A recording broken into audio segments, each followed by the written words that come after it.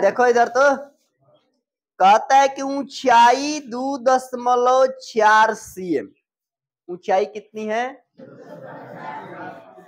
ऊंचाई दो दशमलव चार सीएम हो गया? फिर आगे पढ़ो इसमें। और ब्यास एक दशमलव चार सीएम ब्यास कितना है?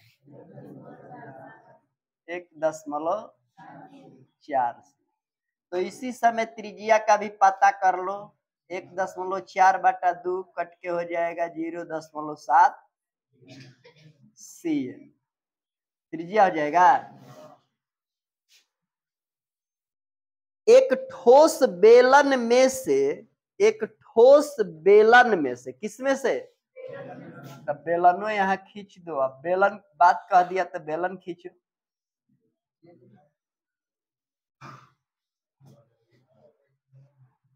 एक ठोस बेलन में से बेलन है। इसी ऊंचाई और इसी व्यास का एक संकवार खोल काट लिया जाता। इसी ऊंचाई इसी व्यास वाला दूसरा नहीं, एक संकवार खोल क्या किया जाता है? काटा जाता है। तो मान लो ये मिडिल पॉइंट हो गया। यहीं से लगा के इस ढंग से कट गया शंकवार कट गया है कि नहीं कट गया? तब ब्यास तो यह रह गया ऊंचाई इसकी भी यही रह गई। रह गई, कट लिया गया, तब इसका नामकरण कर सकते हो। ओ ओ डैश हो गया। यहाँ पता करो, पहले नंबर कहा कटा है? त्रिजिया क्या है? त्रिजिया इसकी इतना ही है। ऊंचाई इसका इतना ही है। किसका? गोला ए, बेलन का।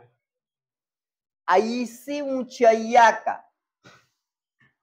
ऐसी त्रिजिया का।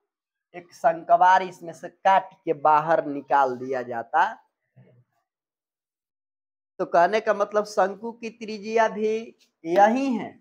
आ बेलन की त्रिजिया भी शंकु की ऊंचाई यही है, अब बेलनों की ऊंचाई यही है।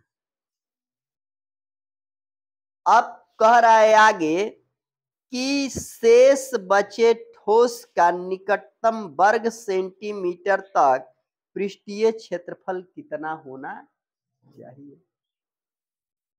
तो ध्यान दे के देखो, शेष, ठोस का पृष्ठीय क्षेत्रफल। अब शेष ठोस जो बच जाता है, उसका पृष्ठीय क्षेत्रफल निकालना है ना? तो उसमें से निकल गया कट के। तो ये समझना कि कट के तो निकल गया, लेकिन जितना खाली रहेगा वो क्षेत्रफल तो लेगा ना जी। वो क्षेत्रफल, यानी संकवार भागे को क्षेत्रफल उसमें है ना? यहाँ से कट के निकल गया। तो जो बच जाएगा, वो शेष बचेगा ना? तो क्षेत्रफल क्षेत्रफल का मतलब कितना एरिया घेर लेता है? तो पहले तो एक बेलन का बेलन का क्या होता है? टू पाई आइया से कटेगा तो शंकु वाला कटेगा ना तो उसका क्या होता है? और ऊपर देखो ये गोल है, वृत्ताकार भाग है ना? कोई भी बेलना देखना तो ऊपर गोल नहीं रहता है। तो इधर से तो कट के गोल का निकल जाएगा, उधर गोल का बच जाएगा कि नहीं बच जाएगा? तो उसको भी लिखना होगा पाई आर लिखना पड़ेगा? अब इस सब में पाई का मान जो होता है जानबे करता है, आर का मान क्या होता है जानबे करता है? होता है ना? अब इसमें पाई आर पाई आर सब में है तो सबको क्या करेगा? बाहर निकाल देगा? तो इसमें सबसे पहले बात यहाँ ये जान लो कि यहाँ एल लगा है। लगा है? एल लगा है तो इसमें एल कहीं दिखता है। कहीं तिरक ऊंचाई दी है? नहीं दिया है। तब मान निकलेगा कैसे? तो इसका मतलब हुआ कि अब तिरक ऊंचाई को पल निकालना पड़ेगा ना? तो यहीं पर लिख दो कि एल बराबर रूट में एच स्क्वायर जोड़ एचवा का मान इसमें दिखता है दो दशमलव स्क्वायर इसका मान है ज़ीरो दशमलव चौबीस का होता है पाँच सौ और सात का होगा सात सात जोड़ी जारी के क्या आ जाता है? कुल छ सौ। अब वर्गमूल इसका आ जाता है दो दशमलव सेंटीमीटर। एल का माना गया? अब आपको एल मिल गया तो देखिए pi r pi r pi r. बाहर है ना? अब पाई आर को क्या करिएगा? बाहर कर दीजिएगा ना? तो पाई आर को यहाँ से बाहर करिए। पाई आर बाहर गया। टू एच बच गया।